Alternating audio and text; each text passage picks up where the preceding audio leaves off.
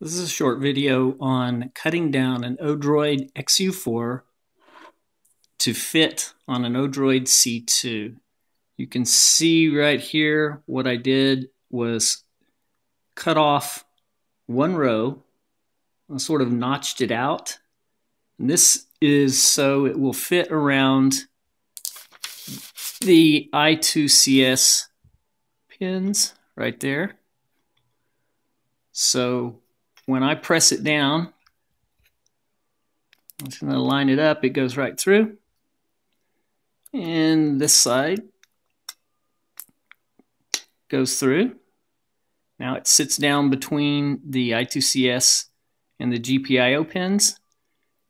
And when it goes in the case, sits up a little bit above my case design. I can either cut out the lid and make a lid that then sits down around it or uh, just make the sides taller.